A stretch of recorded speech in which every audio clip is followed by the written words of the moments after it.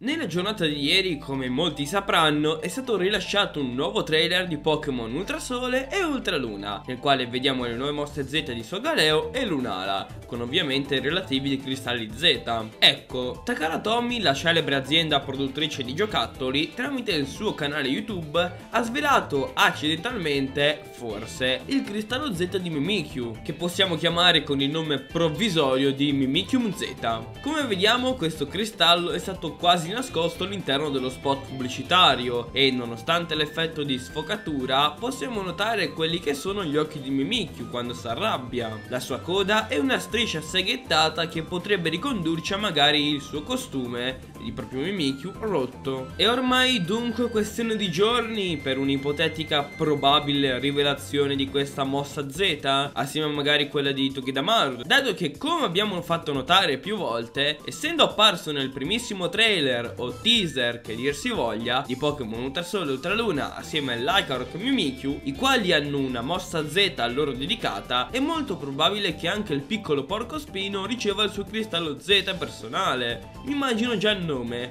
Togedemarium Z Inoltre nello spot, per chi si interessasse di più alla serie animata, appare anche Ash con il cristallo Z di Solgaleo Mmm, chissà, chissà. Dunque, come credete che questa mossa Z funzionerà? Magari Mimikyu potrà usarla solo se il suo fantasmanto non è ancora caduto? Oppure nel caso contrario, solamente se l'avversario ha già smascherato il nostro Mimikyu? Chi lo sa? Io lascio a voi la parola nei commenti. Come al solito se il video è stato di tuo gradimento lascia un mi piace per sostenerci, condividi il video con i tuoi amici ed iscriviti se ancora non l'hai fatto. Qui da Diego è tutto, ciao allenatori!